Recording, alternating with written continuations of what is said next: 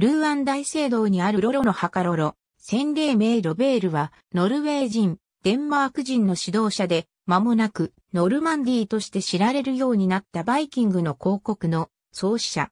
恵まれた体格が災いして、馬に乗ると馬を乗りつぶしてしまうので、いつも徒歩で移動し、徒歩をロロとあだ名された。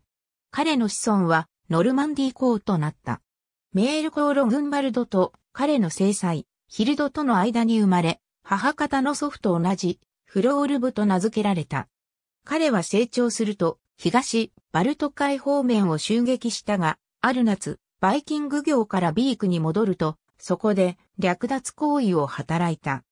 国内での略奪は法律で禁じられていたため、彼はハーラルビ発王の怒りを買い、民会で国外追放に処せられた。追放後、彼は一族ロートを引き連れてヘブリディーズ諸島へ赴いた後、フランス北岸へ侵入し、荒らした。バイキングの襲撃に悩まされていた西フランク王シャルル3世は、ロロにバイキングの襲撃を防げばエプト川からリール川の間の土地を与えると申し出た。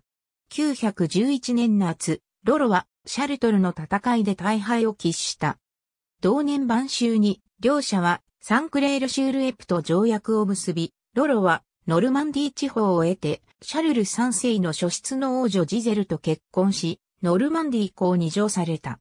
ロロは贈り物の返礼として、司教たちに国王の足に口づけするように求められたが、これを拒否して部下に代行させた。代行した部下は、フランス王にひざまずいて、キスをするのではなく、フランス王の片足を掴んで逆さまに釣り上げ、足にキスをした。これは、ロロたちのルマン人が、いずれもが同等であり、主人を持たない気風によるものと伝えられている。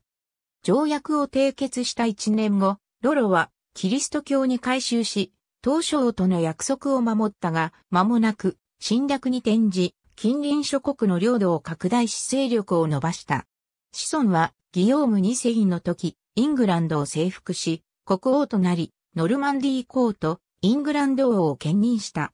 ロロという名前は、コノルド語のフロールブ、近代スカンディナビア語のロールフであり、デンマーク人の自責では、フロールブを同様に、ロルーとラテン語に訳している。しかしノルマン人は彼を、よりよく知られる、ルーサン賞と呼んだ。彼の名前は、フランク名のロドルフもしくはラドゥルフ、あるいはフランス名のラウールに変化するが、それはこれに由来する。ポッパドバイユーとの間に以下の子女を設けた。